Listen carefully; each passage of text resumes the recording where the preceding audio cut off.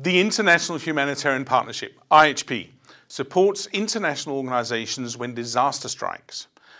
IHP runs Exercise Triplex with the purpose of training our own staff as well as making an environment available for regional and international partners to train both response and coordination in large disasters. The film you're about to see is about Triplex, and Triplex 2013 is based on a hurricane. The hurricane first made land on the east coast and then continued its path across the border region. The hurricane has caused extensive damage in Norrland and Sydland. The initial water level after the passage of the hurricane is reported to be between 2 and 3 meters above surface level. Human and animal corpses are floating in the water. The scenario is in place. Within this scenario, led by the IHP, 200 exercise participants trained cooperation and coordination over four days. We actually expecting a lot. Um, uh, we are expecting to have a good cooperation and exercise for the, with, the, with the humanitarian uh, uh, uh aid workers and the civil protection uh, participants. It's, uh, it's a unique opportunity to train uh, these uh, activities before the real emergency. Is there any problem?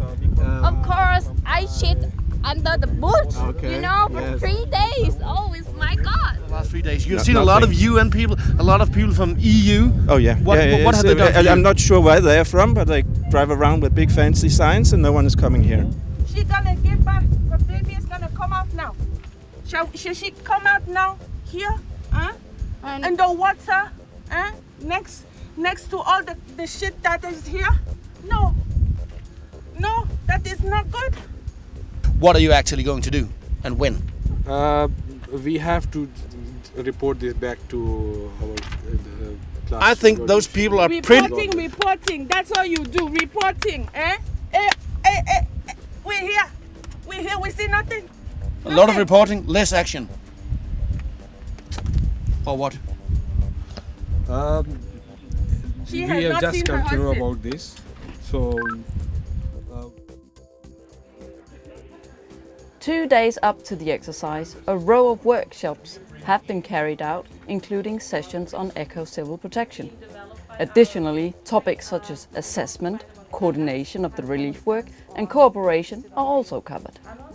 It's, uh, it's good to know to be other people before, before to go to emergency. It's good to uh, know the mandates, uh, who is doing what in, in a real life. That helps you to know your own role and who is doing what and then you can focus to your own role and, uh, and, and, and then you see the uh, big picture of the, of the emergency uh, community.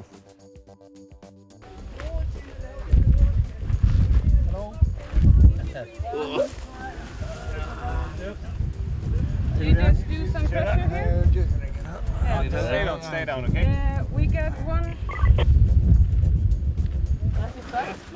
Plastic bag for amputation. Plastic bag in the car. What do you have? Is it? Check his mouth. Is he breathing? Oh! Okay, Petra. What uh, about the black car who's standing over there? Do you think you're able to walk? Can you walk? Todennäköisesti mm. Maybe. Uh, okay? Do you have... I'll try to get her to walk.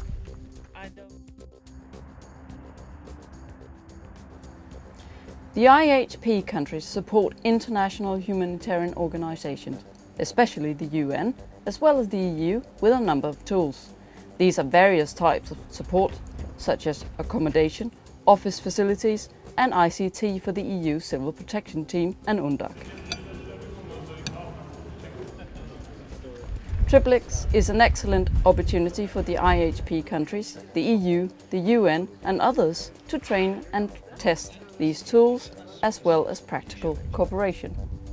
IHP is carrying out the Triplex exercise to train and test coordination structures and give the humanitarian community a framework where they can test and train their coordination structures. The exercise is kept as realistic as possible.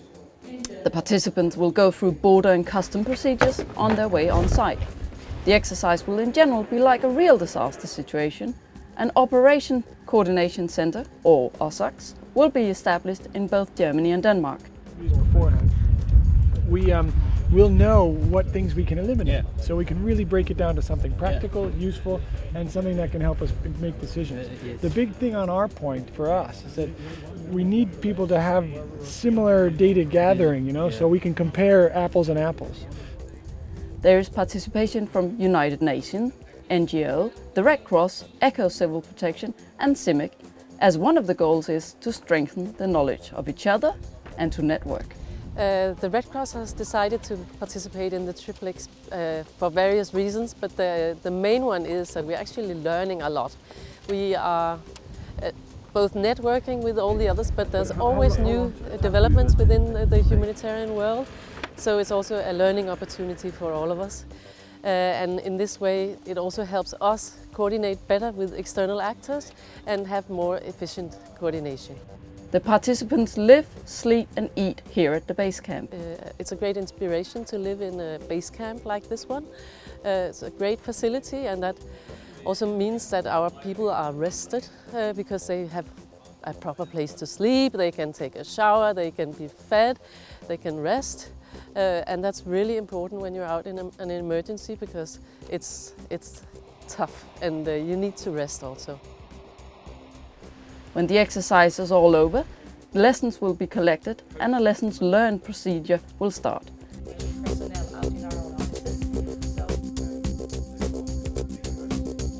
We are identifying on this Triplex 2013 gaps and rooms for improvement for the IHP services and additionally we give the whole humanitarian community a framework to test their coordination structures, identifying gaps, possible gaps and close these gaps to increase effectiveness and efficiency for future real-life emergencies. I think it's been a tremendous learning experience for people. I think there's uh, been lots of mistakes, lots of learning points, and lots of good work as well. I think uh, people can learn from each other a lot from what's happened here. What is the first thing coming to your mind? A lot of work, lesson learned. Yes, it's uh, it's always good to practice. Uh, I learned the importance of partnerships, importance of working together for a common goal, and uh, uh, that we are all there's a, there are things that we can do, and if we are all together, we can do much more and in a much more coordinated and effective manner. You said uh, you said before that um, it's a very well organized exercise. How do you see that? How do you identify that? Well, all the facilities are there. Uh, all the papers about the situation and, and uh, what they have written uh, about the situation give a, a, lot of work. So uh, we all have a lot to do, and that's the key point of an exercise, I guess.